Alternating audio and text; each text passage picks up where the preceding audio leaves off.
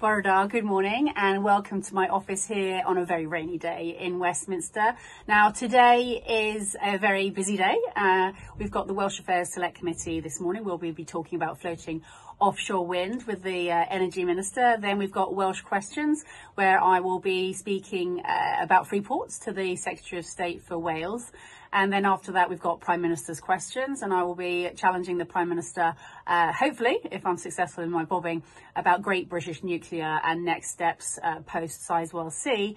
Uh, then we've got uh, it's Diabetes Day, so I'm hoping to uh, to pop in and meet some of the Diabetes UK uh, champions. And then later in the afternoon, we have got the 1922 and then we've got a meeting between all of us uh, Welsh MPs.